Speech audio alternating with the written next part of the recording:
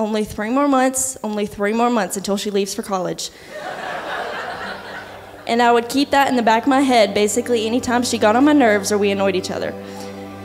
Well, the day finally came when Sarah packed up her stuff and moved three hours away to NC State. And my eight year old self probably cried herself to sleep for about a month straight. After that, I found myself counting down the days until Sarah came home for breaks. I realized how much I took advantage of having a built in best friend who I knew I could come to about anything.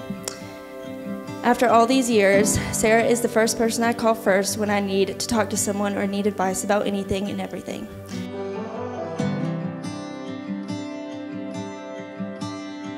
You wondered when God would allow you to stop attending weddings alone and stop dancing with your brothers and dance with someone you love.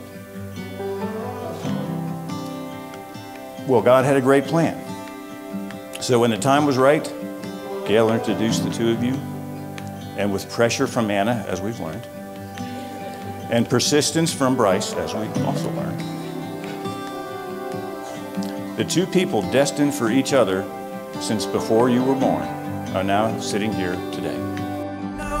No, no, it's gonna happen.